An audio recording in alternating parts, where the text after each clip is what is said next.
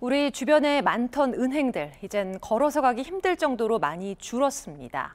디지털 뱅킹 시대에 지점 방문객이 줄고 있어서라는 게 은행 입장이지만 초고령 사회를 앞두고 있는 우리나라 상황과는 맞지 않는다는 지적입니다. 신송희 기자입니다. 금융공공성 파괴하는 점포 폐쇄 중단하라! 금융노조와 금융정의연대가 함께 은행 점포 폐쇄를 방관하는 금융감독원 규탄 기자회견을 열었습니다.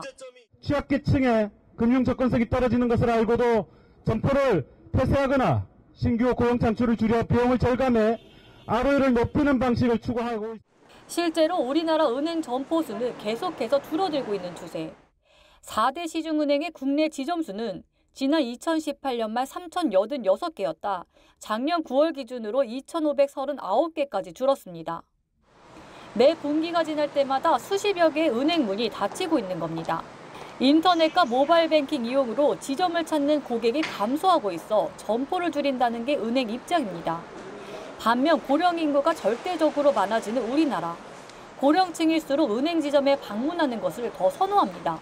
우리는 인터넷 못하고 이거 참고해서 해야 되니까. 정부는 은행 점포를 폐쇄할 때 사전 영향평가를 보고하도록 의무화하고 있습니다.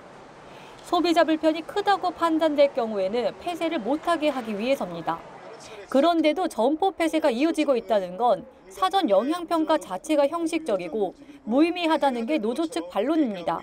금융당국은 폐쇄 현황을 점검하고 이전 안내를 더 강화하겠다는 방침이지만 실익을 따지는 은행들의 폐점 현상은 막기 어려울 전망입니다. OBS 뉴스 신송입니다.